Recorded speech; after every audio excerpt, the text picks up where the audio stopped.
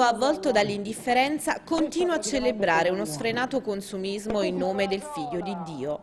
Ma Natale non è tanto aprire regali quanto aprire i cuori per accogliere Gesù. Con questo messaggio le parrocchie della Madonna del Carmine di San Giovanni con Don Raffaele Iorizzo e le sorelle della scuola primaria San Francesco Saverio hanno ideato uno spettacolo musicale itinerante nel quale i protagonisti sono stati oltre 150 bambini e ragazzi.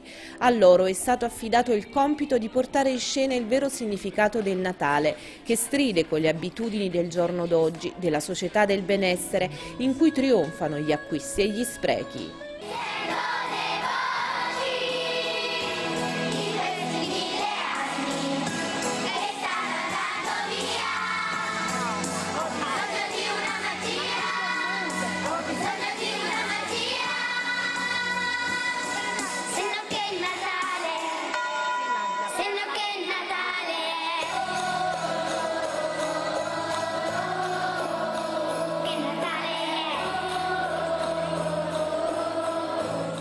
Lo spettacolo, se fosse veramente Natale, si conclude proprio con la scelta di Maria e Giuseppe di far nascere il figlio di Dio in una stalla, condividendo la condizione dei più poveri e bisognosi.